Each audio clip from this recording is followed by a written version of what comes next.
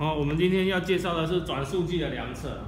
通常一般的转速计哈，我们公司卖的 M 一五零零、RM 一五零一或者是 DT 二二三六 A 这一类转速计，它几乎几乎啊每万转才差一到二左右的一个量测值。那误差规格的话会在四到五之内。我会看依照规格说明书来讲。不过通常送我们实验室得到的数据，大部分就会落在这里。那我们这一次呢，来做个很简单的风速计量测给各位看，哦，以及介绍风速，以及介绍这个转速计的一个那个量测原理哦。转速计呢，我们以 R N 一五零一来讲哦，当你开机完了之后，它会显示零零零，你按一下之后，上面会有盏灯在上面，有没有看到？转速计就是透过自然灯的反射来做量测的，所以呢，它不是靠什么什么很特别感应能力。它实际上它算的是闪频，所以说呢，你看我这边往上往上照的时候，它会照到那个日光灯的那些闪烁，所以它数值也会有变动。如果说我今天拿这盏灯在它前面晃一晃，你看它的它的数字也会改变，有注意到？所以跟它那盏灯一点关系都没有。哦，所以说它环境的灯光够可以反射够多哦，它这盏灯就算是坏掉，这样都量得到。好，我们现在来让这个风扇转动。有没有注意看我的反射贴纸是贴在中心点这上面？我不是贴在叶片上面。为什么？那个镜面。没人知道。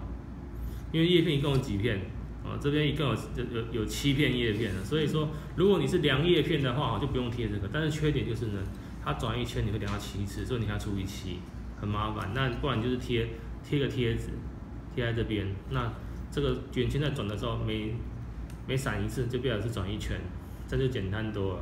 反正也不用贴这么大，那我们是故意贴这么大，好识别而已。OK。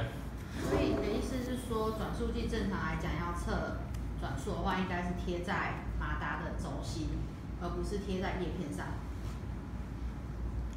轴心偏一边，不是贴正中间，一定要偏，你不偏不行。因为我说过，转速计它的原理就是量测光的闪烁而已。所以说，你今天是要让光遮回来，没遮回来，遮回来没遮回来，这样子，要明显这件事情。所以说呢，在叶片这边光也会穿透，所以叶片也会造成光的改变。所以说，如果说你量叶片，实际上也是量得到数值，而且数值会量得很大。为什么？因为这看你三片的叶片就是会有三倍的量测值，七片的叶片就会有七倍的量测值。了解了吗？那顺便讲电源供应器，电源供应器常常讲限限电压、定呃定电压跟限电流的事情。来，我们这个风速这个叶片的话呢，它吃五伏的电压，它电流是多少？大家知道吗？我猜没有人知道，好，我也不知道为什么，因为它是规格上面没有写嘛，对不对？没关系，我们就给它一安培，我们先给它一安培的电流，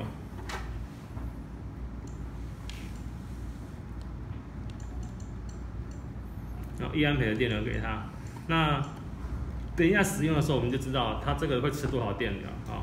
这个按啊，它开始吃，你看到电源供应器显示它现在吃的电流大概会从零点三到零点五 A 一直跳。我刚才设定一安培给它，但它没吃到一安培，它只吃到最多到零点五而已。哦，这样讲了解，它的风速现在稳定，没有什么问题。好，这个时候呢，我们就可以拿我们的转速计来量测。好，我们的 DT 二二三六 A 的话呢，它量测的时候转速是调到这边来。最左边，然后按上面这个打个光，好，它打个很亮的光，好，它光打到这里白色之后，它就会显示它现在转速值是多少，会有看到，大概在两千七百转左右，对，嗯，OK，那如果我打叶片这边呢，我把故意把打叶片这边，它数值在上升，有没有注意到？嗯，为什么？因为叶片它的那个次数比较多，嗯，推到四千九。但它反射不是这么好，所以有点不太稳定。OK，好，那我们现在来今天的问题学生来了，来打打光，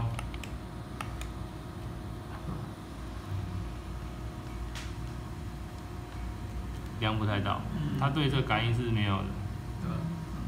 对啊，为什么？嗯，因为光反射不够好。来，首先那个手机，谁家手机会打灯的？有，等我一下。然后嘞？光，请打这里，谢谢。就啊。哦。嗯，我不见了。你按到了。那我先讲，因为人手拿会晃，所以呢，超过转速很高的时候呢，请务必一定要拿那个三脚架把它固定住。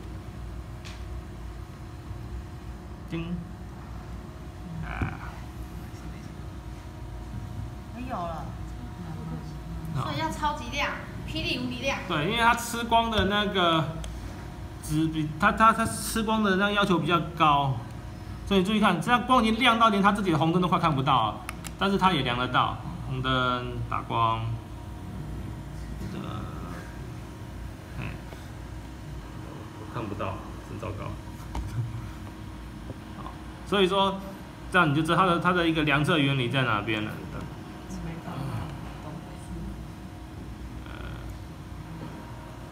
好吧，够亮还可以吧？嗯？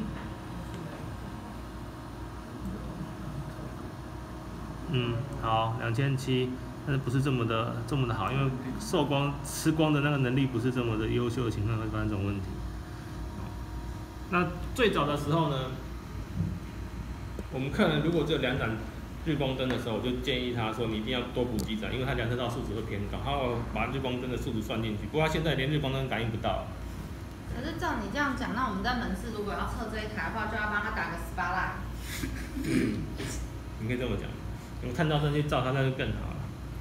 那好，回到电源供应器，我先把它停掉。如果我把它刚才电流吃到零点五 A 嘛，对不对？我故意现在只给它零点三 A，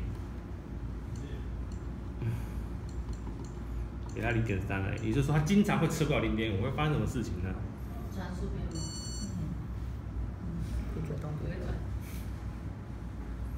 哦因为呢，为什么电压上不去？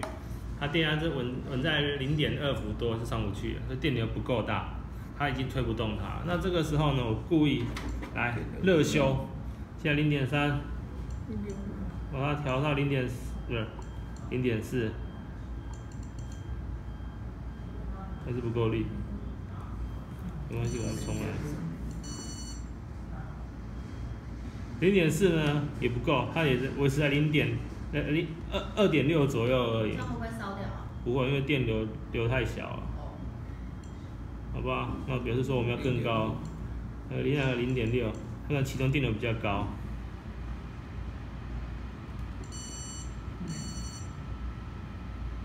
零点六说也不够，表示说它瞬间启动的电流是远高于这个的。不过呢，容我做个实验试试看一下，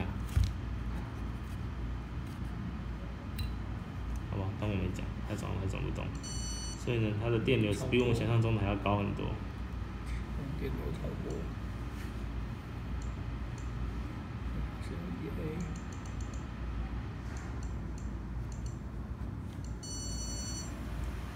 所以一瞬间的时候，它可能是吃将近一 A，然后之后才缓降到这么低。